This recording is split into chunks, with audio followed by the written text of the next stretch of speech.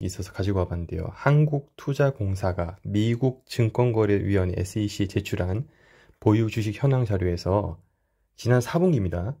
나스닥 상장된 미국 암호화폐 거래소 중 최대 거래소잖아요. 코인베이스 주식을 매수한 것으로 이렇게 지금 밝혀졌습니다. 그렇게 큰 금액은 아닙니다. 한국 돈으로 약 한 23억 원 수준인데요.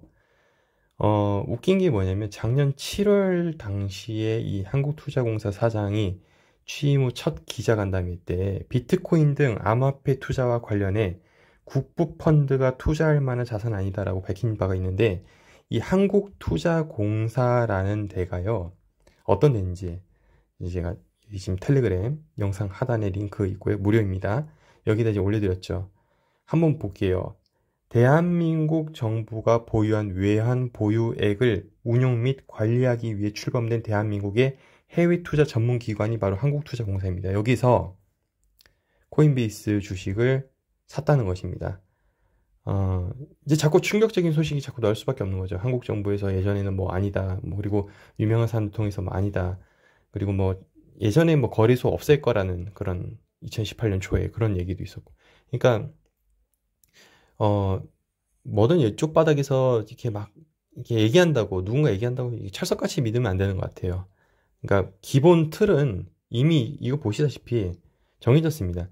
암호화폐 거래소 중 최대 거래소를 투자했다. 그 거래소의 이 이익 창출 기준이라서 코인을 거래할 때 그 수수료 장사, 뭐 커스터디, 기타 등등 결국 코인과 관련된 것에 대해서 비즈니스를 믿기 때문에 그에 대해 비즈니스가 앞으로 성장할 것이라고 믿기 때문에 한국 정부에서도 이렇게 투자를 한 것이잖아요. 그러니까 암호화폐 죽지 않는다는 것이죠. 이만큼 국가 단위에서도 투자를 하는 겁니다. 그렇게 부정적이었던 한국 정부에서 투자를 하는 것이고 여기서 영상 끝나면 좀 서운하겠죠. 하나 좀 더 우리가 살펴본다면요. 이거를 이제 제가 또 텔레그램으로 공유드렸는데 지금 이 부분 좀 주목됩니다. MVRV라는 것인데요. 이 지표에 대해서 좀 간단하게 설명을 드리자면요. 바로 이제 비트코인 이 MVRV ratio는 이 market value realized value라고 해 가지고 요거의 줄임말이거든요. 그러니까 시장 가치와 실현 가치의 비율을 지표로 나타낸 것이다. 뭐 어려운 거 다 집어치우고요.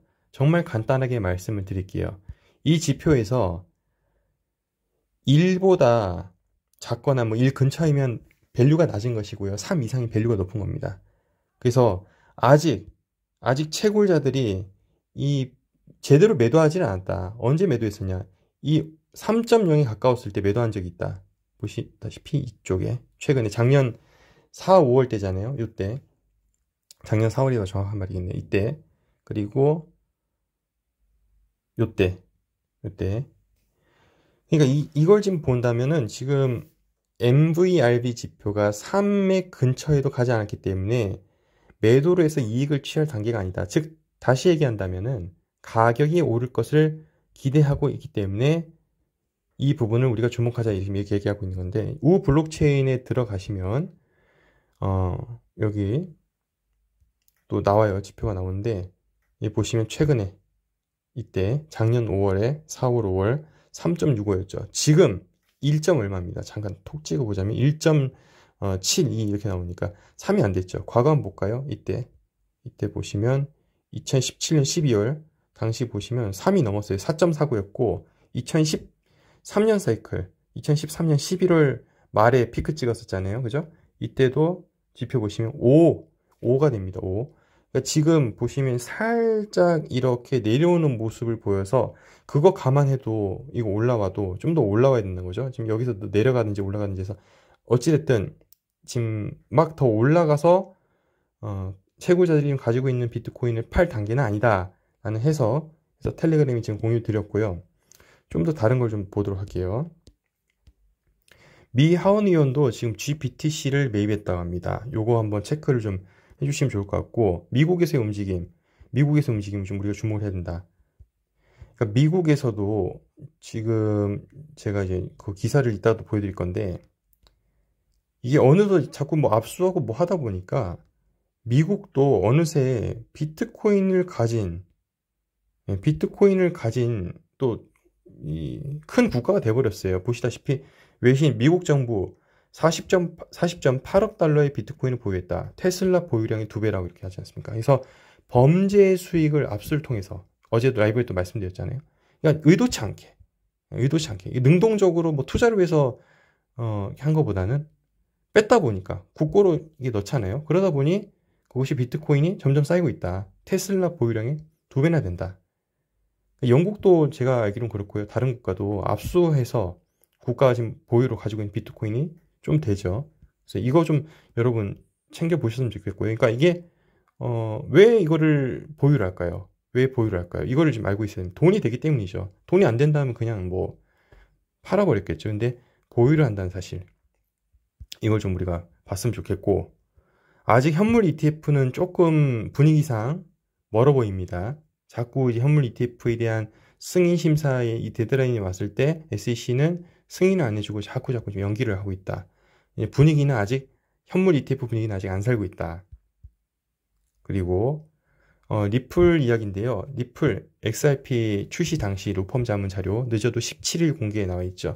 어, 이상하죠. 뭐또 우리가 2월 18일 기억하자고 바로 앞전 라이브 영상에서 말씀드렸죠. 러시아 관련해 가지고 어, 다음 주 되면 되게 재밌는 일이 많, 많아질 것 같아요. 그래서 리플 아, 이것만 기억합시다. 2월 17일 공개되는데 이때 무슨 일이 일어날지 한번 보도록 하시고 그리고 IMF 총재가 CBDC 규제되지 않은 암호화폐 stable coin보다 실용적이다 지금 얘기하고 있습니다. 이 IMF에서는 또 엘살바도르에겐 또 비트코인 보유한 것에 대해서 또 경고를 했었는데 오늘 또 기사 보니까 그거 이제 좀 아예 강등을 했죠. 예, 엘살바도르에 대해서 국가 등급을 한 정크로 또 강등을 또 했었는데 어 그러면서도 CBDC에 대해서는 또 지켜 세우고 있습니다. 이제 단 CBDC에 대해서 요거 세 가지 교훈을 뭐 공유를 했다 이렇게 나와 있는데 이건 읽어보시면 될 것 같고요. 어, 읽어보실 건 그냥 텔레그램 들어와서 읽어보시면 되니까 크게 크게만 좀 짚어보도록 하겠습니다. 그리고 헤지펀드 전설 빌 밀러 비, 미국 비트코인 채굴 관련주 매수하기 매력적 지금 비트코인 채굴 관련 ETF는 얼마 전에 나왔고 진행이 되고 있죠. 이 중에 저는 좀 Silvergate Capital을 좀 어, 주목을 해봤으면 좋겠어요. 이게 지금 왜 그러냐면 Silvergate Capital 하면 어, 뭐야 이러겠지만 주가 한번 볼게요. 어, 엄청납니다. 여기에 이게 지금 오른 게 보면은 어, 10배 이상 올랐었고요. 예, 엄청난 성장을 이루고 있는데 이게 왜 유명하냐? 페이스북 아시죠? 페이스북 암호화폐 사업했던 거 이제 원래 stablecoin 만들려 했던 그 Diem 사업부 Libra에서 뭐 Diem으로 이름도 바꿔가지고 좀 이미지 쇄신을 하려 했으나 각국의 중앙은행이 지금 뭐 반대에 또 부딪혀가지고 결국에는 사업을 접었는데 Silvergate한테 팔아 넘기고 이제 접었죠. 그래서 이 Silvergate라는 것은 좀 알아본다면 좀 꽤나 많은 아, 현재 블록체인 관련 이 기업들 Silvergate, Silvergate Capital에 연관이 되어 있습니다. 그래서 어 이거 우상향하고 있죠. 비트코인 주, 비트코인 가격과 연동이 되고 있지만 비트코인 가격이 올랐던 것만큼 보다 더 전고를 뚫고 더 올라왔었고 현재는 이 정도에 있네요. 자, 이건 미국 정부 얘기를 했고 뉴욕 시장은 조금 이제 애매한 얘기를 했습니다. 지금 이제 암호화폐를 지지하지만 채굴은 반대, 돌연 변심 뭐 이런 얘기 나왔고요. 뭐 CO2 배출 어쩌고 저쩌고 그것 때문에 그렇다. 그리고 이거 이거 하나 좀 말씀드리고 싶은 게 오픈시, 오픈시가 일일 활성 사용자 일주일간 30% 이상 감소 이렇게 나와 있는데 어, 한때 이제 가장 많이 이용했던 NFT 거래하는 데잖아요. 근데 여기서 1등이 지금 또 오픈시가 아닙니다. 또 한 곳이 또 치고 올라와 버렸습니다. 그래서 계속 바뀐다. 계속 바뀌고 있다. 이렇게 한번 좀 말씀드리고 싶은데요. 일단은 제일 웃겼던 소식이 한국투자공사입니다. 참 이 시장 여러분 그 어, 정말 정보의 혼란과 이 홍수와 혼란과 믿을 만한 어떤 국가 단위조차도 믿을 수 없는 그런 투자처입니다. 그만큼 더 메리트 있는 시장이라고 좀 자부, 자신할 수 있고요.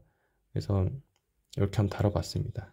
여러분들 생각도 밑에 담아주시면 좋을 것 같고 어제 라이브 에버그린 3주년 방송 많은 분들 들어오셔서 또 함께 해주셔서 감사드리고 댓글 못 들어오셨던 분들은 또 라이브 끝에 어, 재방 보시고 축하해 주셔서 감사드립니다. 앞으로도 또 양질의 정보 드릴 수 있는 채널 되도록 하겠습니다. 여러분 감사합니다.